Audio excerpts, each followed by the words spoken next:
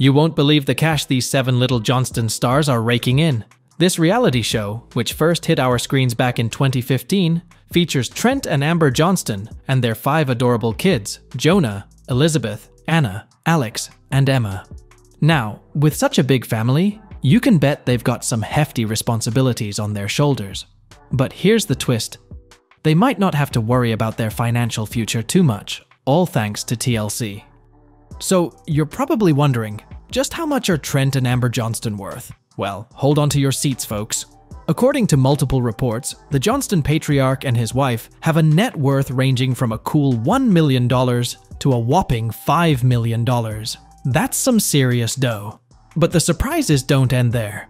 Jonah Johnston, their eldest, is said to have a net worth of $5 million, according to those same multiple reports. Talk about keeping it in the family, right? And what about Elizabeth Johnston, who has practically grown up on our screens and is now a mom herself? Her net worth is no joke either, falling somewhere between $1 million and $5 million, according to, you guessed it, multiple reports. Anna Johnston, one of the adopted members of the clan, isn't lagging behind either. Thanks to her time on the TLC hit, Anna's reported net worth is sitting pretty between $1 million and $2 million. Now, let's not forget Alex Johnston, who was born in Seoul, South Korea, and welcomed into the Johnston family with open arms.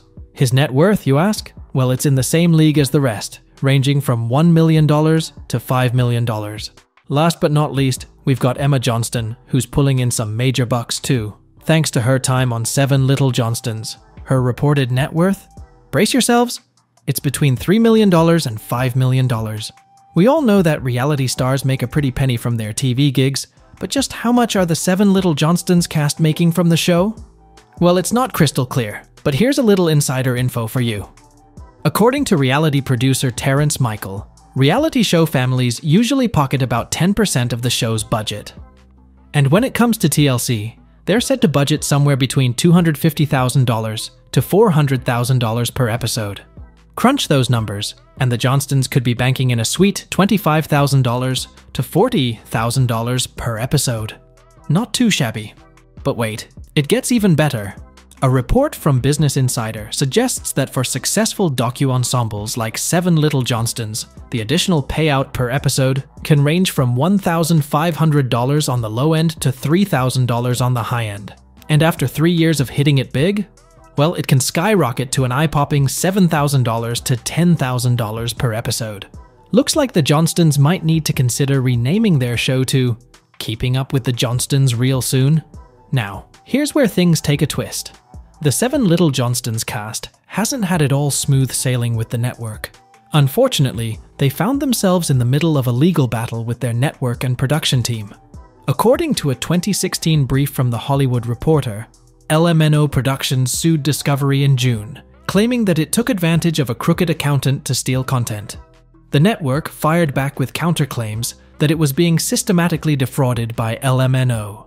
The issue at hand now is who keeps footage and other material from the second season of Seven Little Johnstons, while the litigation is pending.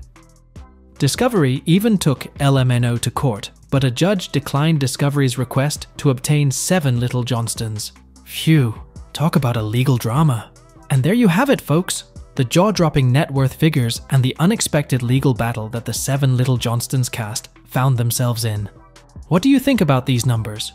Drop your opinions in the comments below, and don't forget to hit that like button and subscribe for more exciting updates from the world of stars and TV shows.